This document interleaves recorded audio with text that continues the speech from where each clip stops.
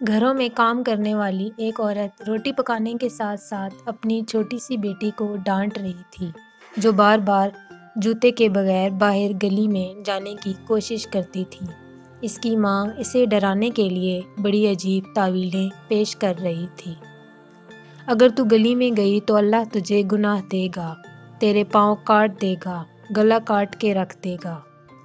मैं पास ही थी पहले तो मैं समझी कि इतनी छोटी बच्ची जो सही से बोल भी नहीं सकती, इसको ये सब समझ ही नहीं आ रहा होगा। मगर मैंने देखा कि बच्ची ज़रा देर को रुककर अपनी माँ के चेहरे की तरफ़ गौर से देखते हुए शायद इसके अल्फाज पर गौर कर रही थी। इसका मतलब था कि बात को जहन नशीन कर रही थी।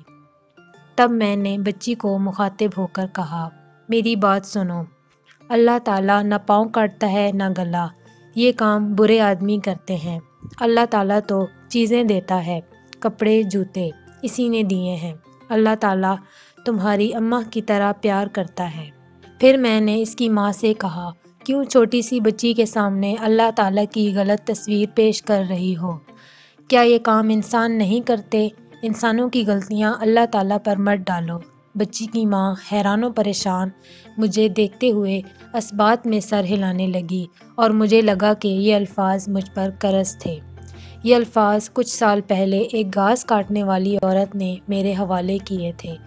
जब मेरा छोटा सा बेटा बाग में रिंगने वाले हशरातुलर्स को पाँव से रोंद रहा था, मैं इसे बार बार टोकती और कहती कि अल्लाह ताला नाराज़ हो जाएगा। जब कीड़ों को दर्द होगा तो अल्लाह ताला गुनाह देगा। तब पास ही घास काटती हुई औरत ने दरांती रख कर संजीदगी से मुझे कहा, बीबी, बच्चे को वो बात बताओ जो उसे समझ में आए। अल्लाह ताला से मुतनफ़र मत करो। अल्लाह ताला इतनी सी बात पे नाराज़ होता तो ये सब कुछ न देता।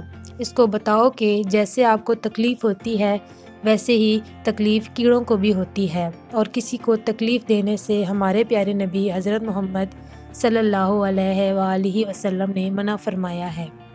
मैं भी एक अनपढ़ औरत के मुँह से ऐसी गहरी बात सुन के बिल्कुल इसी तरह हैरान होकर देख रही थी।